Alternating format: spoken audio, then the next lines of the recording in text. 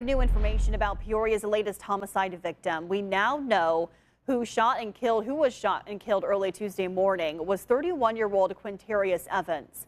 According to the Peoria County coroner, he had multiple gunshot wounds throughout his body. Peoria police say the shooting happened around 3:35 a.m. on a West Garden Street. That's a few blocks south of Manual High School.